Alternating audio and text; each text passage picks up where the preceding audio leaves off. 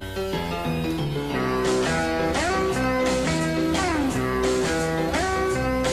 I'm just out of school, like I'm real, real cool. Gotta shake, gotta jive, got the message that I gotta be alive. I'm a wild one. Ooh, yeah, I'm a wild one. Ooh, baby, gonna break loose. I'm gonna keep a moving wild. I'm gonna keep a shaking, baby. I'm a real wild child. I meet all the guys, I'm gonna meet all the chicks. Shiver and Yeah, my dad, he was Australia's king of rock and roll, but he actually started the rock and roll business in Australia.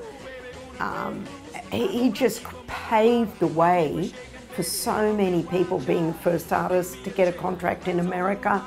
And without that, there wouldn't have been a rock and roll industry. You needed a leader, and he was the leader.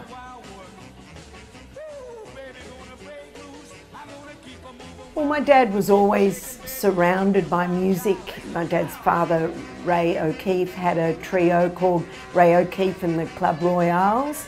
He was drawn to music and did display that talent for singing at an early age in his teens. My dad really uh, got into the rock and roll side of things when he met Lee Gordon, the promoter who was bringing international acts into Australia to perform at the stadium. And dad knew that this rock and roll excited the crowd and got them like so hysterical.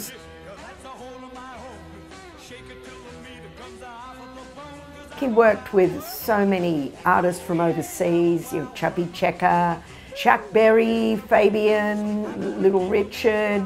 The list was incredible. He had a great raspy voice, he had that energy and the cute look, and he, he, he was brilliant at it. I, I, I haven't heard any other rock and roll singer that could sing it as well as he did with so much conviction. He wrote his own songs. I'm very proud of the Wild One, which he co-wrote with um, the Dee Jays. And you've seen Iggy Pop recorded. It was the soundtrack for Pretty Woman. I mean, that's an incredible feat. And he wrote the theme track for Six O'Clock Rock.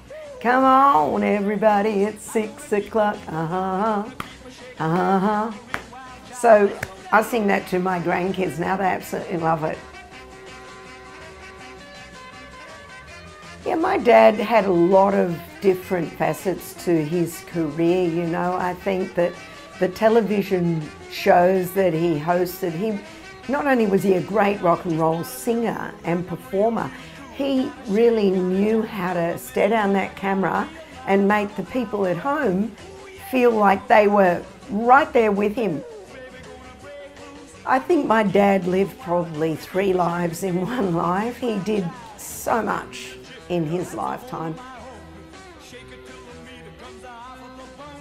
Growing up with Johnny O'Keefe as my dad was an amazing thing. He was a beautiful person, very much family person, wanted to spend wonderful times with us as children and show us his world and the colourful world that he lived in. We embraced everything uh, growing up in that lifestyle and wow, you know, um, I've had an amazing life.